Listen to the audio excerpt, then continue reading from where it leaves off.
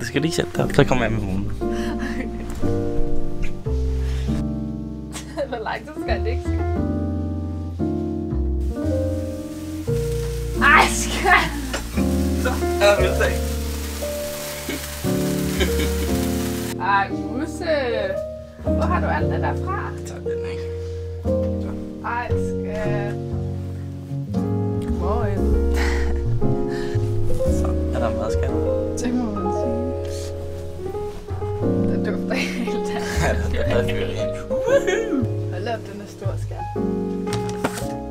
den er tung! Hvad er det, skat? Har du skrevet kort til mig? Jeg elsker dig helt mit hjerte, og ja, det er nok. Nu skal jeg det begynde helt at græde. Har du ikke gravet, skal Jo. Nej, skal jeg. Hvor der står, tak. Tak. Hvad er det? Har du købt den, skat? Kan hvad?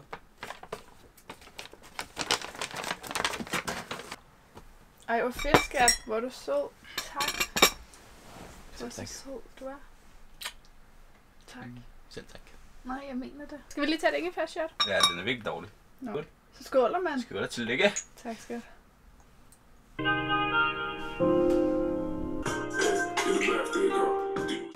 Hej og velkommen tilbage til min kanal. Som I kunne se på titlen, er det min 22 års vlog. Fødselsdagsvlog. Juhu! Og som vi så tidligere, så er Anders overrasket med morgenmad for sengen og gaver og det hele store show. Det var så dejligt. En lille show. Ja. Øh, jeg har ingen idé om, hvad vi skal i dag, fordi Nej. Anders overrasker mig. Det er mig, der ved, hvad der skal ske. Ja, jeg hader det. Men øh, ja, jeg overrasker dig i dag, så du ved slet ikke, hvad der skal ske. Nej, Desværre. det er meget spændende, men I får lov til at komme med, så I må bare være lige så øh, spændt og nysgerrige, som jeg er. Ja. Ja. Uh. Så jeg ved slet ikke, hvad den her blog kommer til at handle om, så I må bare følge Ud med. af vinterbade. Nej, det er bare slet ikke mig. Åh, jeg hader bare vinterbad. Nå, følg med. Anders har lige sagt, at vi skal ud og spise frokost, så nu er vi hoppet i tøjet og har gjort os klar til at tage ud og spise noget frokost. Jeg ved ikke, hvor vi skal hen, men jeg tager selvfølgelig jer med. Så nu er vi hoppet ned og tage metroen. Vi skulle med metroen, ikke? Jo, okay, metro. Okay, og øh, så vender jeg lige tilbage, når vi er kommet frem til, hvor vi skal spise frokost. Vi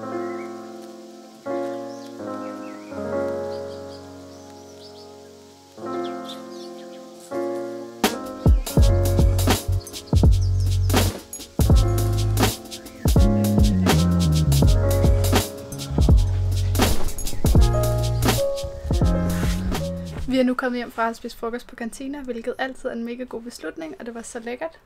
Anders har lige fortalt mig, at vi ikke skal sove hjemme i aften, så jeg skal pakke en taske med noget badetøj.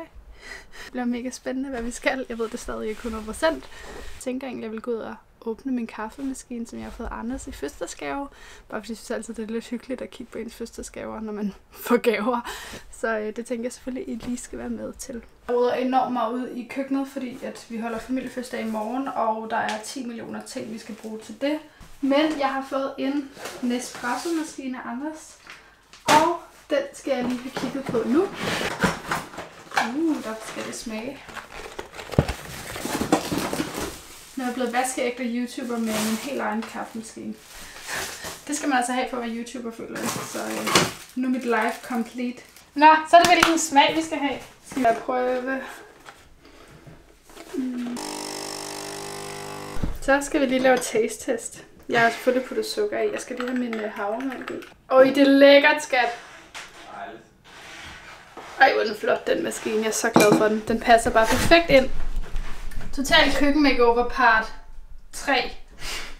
Nå, øh, fordi vi skal holde familiefødselsdag i morgen, som jeg har sagt en 10 millioner gange til jer, så øh, skal vi rykke vores sofa ind i sengen, fordi vi har en lille bitte lejlighed, så hvis der kommer ni mennesker på besøg i morgen, og der skal et plastikbord op, eller et papbord, eller hvad hedder det, et, et bord, der skal et ekstra bord op inde i stuen, så er der simpelthen ikke plads til, vi også skal have vores sofa herinde. Og i forvejen er vores sofa mini, men nu skal den ind i sengen og stå. Så det får vi lige fikset, inden vi skal pakke. Så. Ja, du lige vente med at gå, måske? Væk, eller hvad? Ja. Jeg tror bare, det er. Okay. Det bliver virkelig hyggeligt. Jeg hiver lige lidt i det, ikke?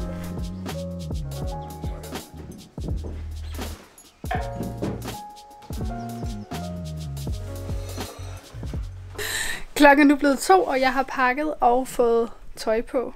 Og jeg ved stadig ikke, hvor vi skal hen. Hvad skal vi overhovedet, skat? Hvad- Altså, skal vi med metro, eller hvad?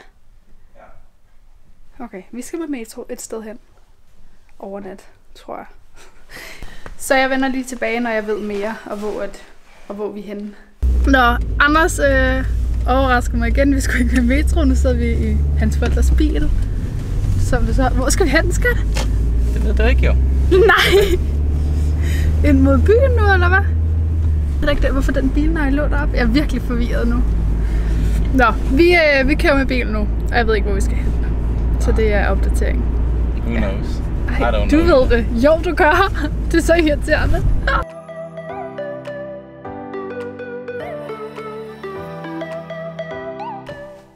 Vi er nu kommet frem til Marienlyst Strandhotel.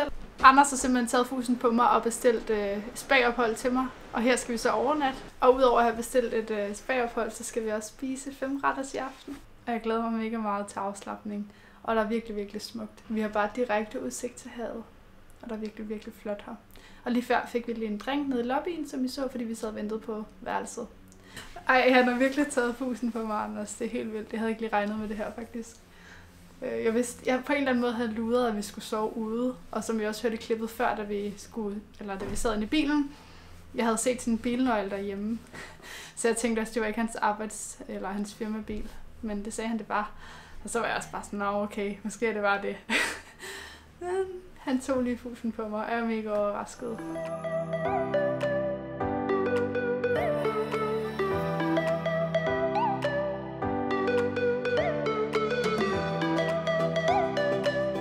Klokken er blevet halv seks, og Anders har bestilt bord til os her til at spise kvart i seks. Så nu vil vi egentlig bare smutte derned. Vi har gjort os klar. Jeg har en øh, kjole på Getty, som jeg har lavet igennem Sars Jersen på Instagram. Og det elsker jeg at gøre til sådan nogle her begivenheder. Og jeg er så sulten. Det sidste, vi har spist, det er nemlig inde på kantina, som var klokken 12. Så øh, ja, halv et. Så det er et, øh, et par timer siden sidst, og der er jo sket meget. Så det bliver rigtig lækkert lige at få lidt mad. Det er dejligt. Ja, og vi fik lige gået en lille tur ned ved vandet. Og det var så smukt. Let's go eat, baby. Yes.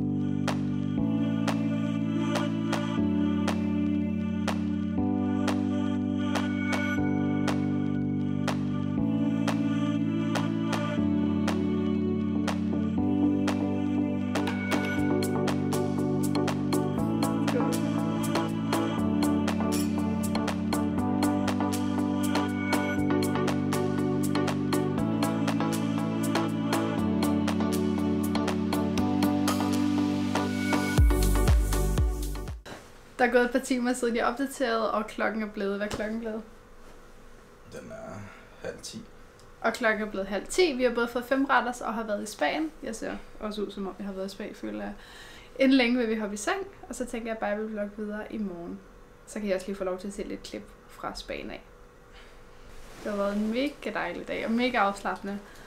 Og den der fem retters var så lækker. Det var virkelig, virkelig godt. Godnat. Ses i morgen. Godnat. Jeg skal følge mig på Instagram vlog.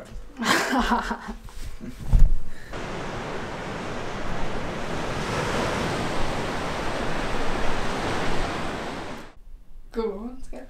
Godmorgen. Det er blevet lørdag, og vi skal ned og spise morgenmad nu. Og I skal selvfølgelig med ned og se, hvad der er nede. Er der buffet, skat? Ja, det tror jeg. Uh, jeg håber, der er pandekager. Det tror jeg. Men godmorgen. Jeg har virkelig, virkelig sovet dejligt. Sådan latterligt dejligt. Og nu er det bare lørdag, så er det ikke min fødselsdag mere. Ja. 22. Ja, nå, sjov følelse. Og vi har lidt travlt i dag, fordi vi vil både gerne spise morgenmad nede i Spanien. Og så skal vi hjem og gøre klar til min familiefødselsdag, der starter klokken to. Så vi har sådan lidt en travl dag. Der kommer til at ske virkelig meget i hvert fald. Så øh, lad os bare Yeah. starte dagen. Ja.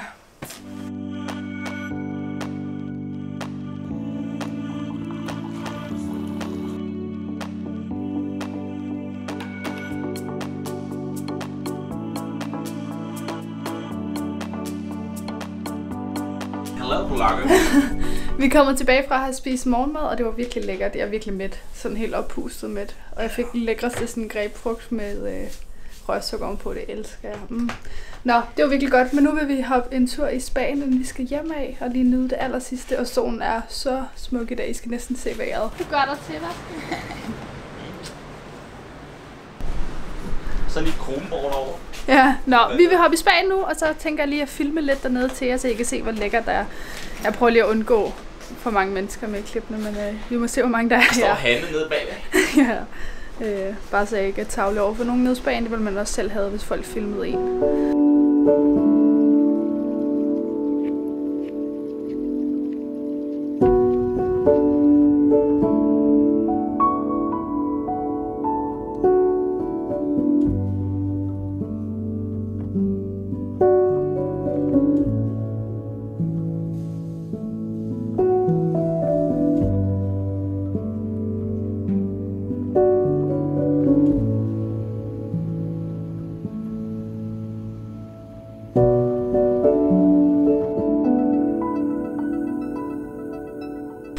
Klokken er blevet 11, og vi tjekker ud af Marienlyst øh, Strandhotel, og Anders er lige i gang med tanke bag mig. Og ellers så er vi bare på vej hjem. Jeg har lige ringet til lavkagehuset og sikret mig, at min lavkagemand eller lavkagekone er klar til afhandling. Og så skal vi bare lige forbi og hente den til min familiefødselsdag. Men, øh, nu vil vi lige gå ind og øh, betale for benzinen, og så lige købe lidt snacks til turen, fordi vi skal alligevel køre en lille times tid, så det er meget hyggeligt lige at have et eller andet at kunne underholde sig selv med. Skal vi lige gå ind? Og have købt nogle snacks til turen? Jeg har lige sagt det, ja. Nå. Men udover det, så vil jeg bare lige anbefale Marienlyst Strandhotel. Det har virkelig, virkelig været lækkert, og det har været en mega god oplevelse. Jeg føler mig helt sådan frisk og veludviklet. Snacks, ja. Ej, ja, det er farligt. Snacks, damen. Så er vi ude at køre. Ja, det er meget skønt. Hørte du sangen, der kom på den? Nej, En god sang. det var der. Snacks til vores. Luksus. Ja, Vi elsker børneslik, jo. ja, det gør vi. Hvad Udover det her, det er ikke børneslik, Nej, det er det ikke. men det er ABC. Så lidt børneslik er det, ja. A, B, C, Mm, D, jeg elsker lakrids. E, F, G. Share size. Har det jeg lukket tanken bag i? Det håber jeg da. Nå, nu lige smutter vi med hjem. ring. Ja, skat. Nu skal vi hjem. B, C, D, E, F, G. Har jeg Så er der hentet kagen. Ja, skat. Jeg skal have frugt ud, skat. Hvad laver du? Skal vi være sunde nu? Ja, skal vi? Lækkert.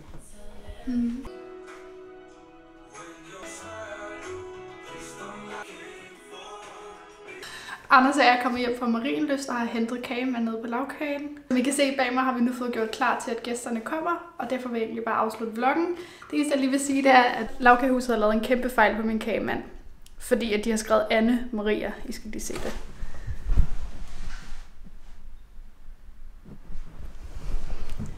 Anne Maria i stedet for Anna Maria. Men øh, skidt pyt, den smager sikkert lige så godt, om der stod Anna Maria eller Anne Maria. Udover det, så har jeg fået de flotteste blomster af Jule. Jeg ved ikke, om I kan se dem. De står her bag mig. Ej, I skal lige få lov til at se dem. Prøv lige at se, hvor smukke de er. De er så meget mig blomster, det her. Wow. Så tusind tak for dem, Jule, hvis du ser med. Det betyder virkelig meget for mig. Hun havde skrevet det sødeste brev til mig, så stod de bare leveret ud foran min hoved der, da Anders og jeg kom hjem. Hvilket var en mega dejlig overraskelse, og det er så skønt at have sådan nogle dejlige veninder, jeg har i mit liv. Det er virkelig, virkelig dejligt. Der var faktisk en følger, der skrev i går på min Instagram, har du kun fire veninder, og hvordan håndterer du det? Hvor jeg var sådan, øh, nu har jeg så ikke kun fire veninder, men hvis jeg havde kun fire veninder, som jeg ikke synes er lidt i en, i en alder af at være 22, så vil jeg bare lige sige, at jeg har et par veninder, som er mine absolut favoritmennesker på den her klode, og de kender mig 110 procent, og det er det vigtigste for mig. Og jeg elsker dem meget højt. Om jeg havde 10 veninder eller en veninde, så er det ikke det, der er vigtigt, men at hvordan man har det med dem. Så husk dig lige selv på det. Og så er der ikke andet end at sige tusind tak, fordi du har set med i den her vlog. Det betyder super meget for mig. Jeg håber, I har nyt at se med. Det har været en meget anderledes vlog, jo, fordi jeg er blevet mega meget overrasket af Anders. Så tak til Anders også for at give mig verdens bedste fødselsdagsgave og verdens bedste dag. Det var virkelig, virkelig en skøn dag. Tusind tak for at se med. Tak for dig.